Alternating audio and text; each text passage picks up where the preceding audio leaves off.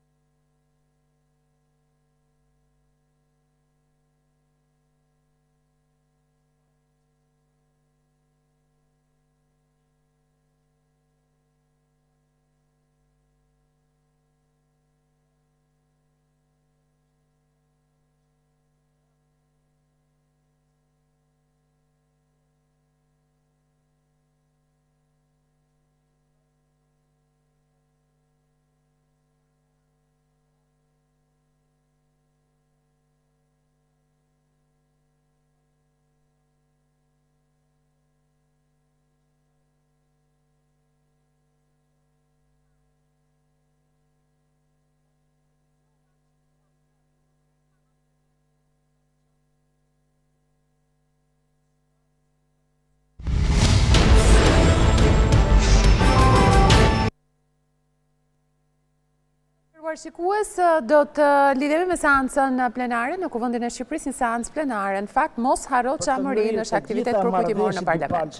Që janë në diskutim e sipër me Greqinë, dhe të cilat çuditërisht të gjitha janë në favor të Greqisë, Derisa Athina të heqë ligjin e luftës me Shqipërinë dhe të pranojë tratativat për zgjidhjen e çështjes çame.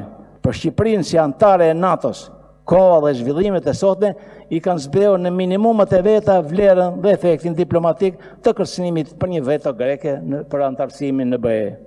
Platforma diplomatike kërkon ndërkombëtarizimin diplomatik të çështjes çame. Është absurde që Shqipëria, anëtare e OKB-së nga viti 1955 dhe anëtare e NATO-s nga viti 2009 dhe anëtare e shumë organizatave të tjera ndërkombëtare, nuk ka ngritur kurrë çështjen çame dhe të drejtat e popullsisë çame për t'u kthyer në trojet dhe në pronat e veta. në Greqi. Ndërkombëtarizimi i çështjes çame kërkon nga diplomacia dhe nga qeveria shqiptare sensibilizimin diplomatik dhe informativ ndërkombëtar, kërkon sigurimin e një përkrahjeje nga diplomacitë, nga shtetet dhe nga faktori perëndimor dhe ballkanik për zgjidhjen e saj. Komisioni Europian dhe Komisioneri Hahn i dhanë diplomacisë dhe qeverisë shqiptare një rast dhe një kartë të artë diplomatike për ndërkombëtarizimin e çështjes çame. Nuk ditën dhe nuk deshën ta aplikojnë. Por ajo kartë diplomatike europiane në favor të çështjes çame është në fuqi sot e kësaj dite. Ndërkombëtarizimi i çështjes çame është një faktor i rëndësishëm i strategjisë së realizimit të së drejtës së saj. Ndaj diplomacia dhe qeveria shqiptare duhet të hartojnë dhe të zbatojnë sa më parë një platformë diplomatike të zgjidhjes së çështjes çame, pa të cilën nuk mund të ketë normalizim real të marrëdhënieve midis dy shteteve. Faleminderit.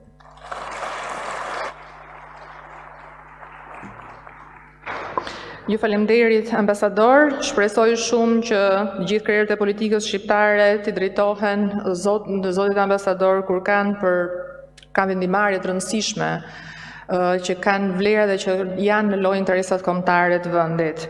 Ftoj tani drejtuesin e fondacionit Hasan Tahsin, zotin Alket Veliu, një nga veprimtarët e palodhur të çështjes çame dhe që së bashku me ne është marrë me organizimin e të gjitha eventeve vazhdimisht.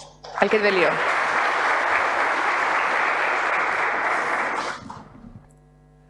Të nderuar miq, të ftuar bashkatdhetarë. Duke ardhur në këtë foltore Përjetova dy ndjesi të forta. E para lidhet me përgjegjësinë që të jep kjo sallë, sidomos kur flet për Çamërinë, dhe e dyta lidhet me ju që jeni ulur në këto karrige, duke e kthyer për pak orë Parlamentin e Shqipërisë në shtëpinë tonë, Çamërinë. Mesila, më lejo të të falenderoj në mënyrë të veçantë për këtë ide brilante, nëpërmjet të cilës na e solle Çamërinë në Parlamentin e Shqipërisë. Së bashku me kryetarin zotin Shpëtim Idrizi dhe deputetin Nusret Avdullaj, ju i datë kuptim votës së çamëve dhe na bëtë të kuptojmë sa e rëndësishme është të mbështesim shtëpinë tonë. Të nderuar miq, rrugëtimi im që nga lindja dhe deri më sot, ashtu si dhe i juaj, është shoqëruar me emrin çam. Në fëmijëri çuditesha nga stigmatizimi që na bëhej, pasi shpesh dëgjoja, janë njerëz të zotë, por gjithmonë kishte një por që lidhej me origjinën. Fatkeqësisht kjo por na shoqëron edhe sot. Kemi djem dhe vajza të talentuar, të cilët shkëlqejnë në fusha të ndryshme dhe kontribuojnë në zhvillimin e shoqërisë shqiptare, por janë me mijëra të tjerë të cilët kanë lënë Shqipërinë, pikërisht për mos ta dëgjuar këtë por.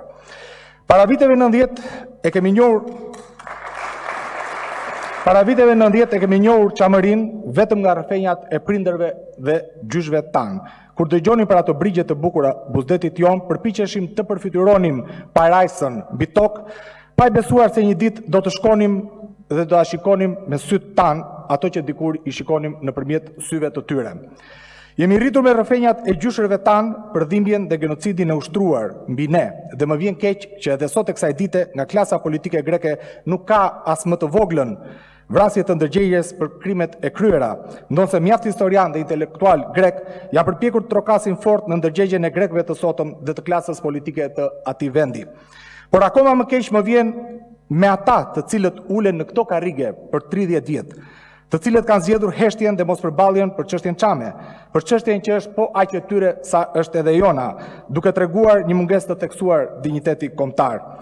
Ata që do të ulen të enjten në këtë sallë do t'i pyesja, a ju bren sadopak ndërgjegja që për çështjen çame jeni në të njëjtën linjë me politikën greke, pra me injorimin që i bëhet kësaj çështje dhe jo të respektoni vullnetin e votuesve tuaj shqiptarë, çfarë do t'i thoni fëmijëve tuaj lidhur me heshtjen që bëni për çështjen çame? Ju që do të uleni të enjten në këtë sallë duhet të dini që ndaj shqiptarëve të Çamërisë është ushtruar një genocid. I njohur ky fakt edhe nga ky parlament në vitin një mijë e nëntëqind e nëntëdhjetë e katër.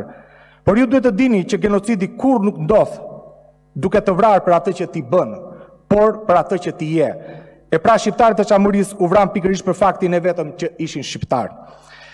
Ne jemi gati të falim për hir të paqes dhe bashkëjetesës në harmoni të brezave që vijnë. Por për këtë duhet një akt i guximshëm i shtetit grek për të pranuar genocidin e ushtruar, për ta futur çështjen çame në rrugën e zgjidhjes në kuadër të të drejtave të njeriut, duke i kthyer shqiptarëve të Çamërisë çdo të drejtë të mohuar.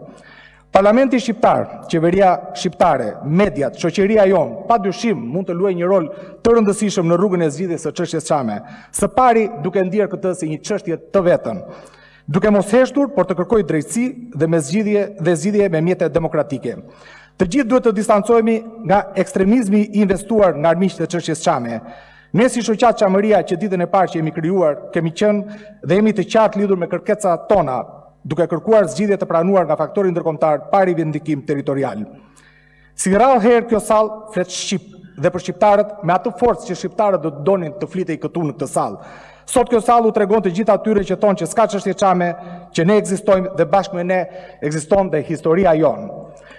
Unë kam menduar që burra të mëdhenj të Çamërisë, si Pirroja i Epirit, Gjin Bue Shpata, Marko Boçari, Xhavellajt, Çaparenjtë, Hasan Tahsini, Bilal Xhaferi e shumë e shumë të tjerë, Bashkë me historinë dhe traditat çame janë të papërsëritshëm. Kjo është dhe arsyeja e krijimit të Fondacionit Çamëria Hasan Tahsini, për të promovuar vlerat e Çamërisë, historinë, figurat e shquara dhe traditat tona. Për një kohë relativisht të shkurtër ne kemi folur nga Shqipëria, Kosova dhe Maqedonia, nëpërmjet promovimit të botimeve tona për Çamërinë dhe për çështje me interes kombëtar. Dua të përmend bashkëpunimin që kemi patur me Akademinë e Shkencave të Shqipërisë për disa botime, por edhe bashkëpunimin me personalitete të shquara me vokacion kombëtar në Shqipëri. Më vjen mirë që kërkesa për të bashkëpunim me fondacionin vijnë edhe nga shumë prej jush në këtë sallë. Dhe unë do t'ju ftoja të gjithëve të kontribuojmë pranë shoqatës Çamëria, Fondacioni Çamëria Hasan Tahsini për të zgji për të ndihmuar promovimin e vlerave që vijnë nga krahina e Çamërisë. Çamëria është e të gjithë çamëve, Çamëria është e të gjithë shqiptarëve dhe ka nevojë për të gjithë ju. Sot është dita që shqiptarët mos i trëmben Çamërisë. Sot është dita që Çamëria të jetë e çdo shqiptari. Ne kurrë nuk do të reshtim së punuari për të treguar të vërtetën e Çamërisë, ne kurrë nuk do të reshtim së kërkuari të drejtën tonë për ta për t'u kthyer në shtëpitë tona. Rroftë Çamëria. Faleminderit. Faleminderit Alket. Sapo të them emrin, nuk besoj se do ketë shumë nevojë që të shpjegoj, por është shkrimtar, publicist, mik i Çamërisë, kime...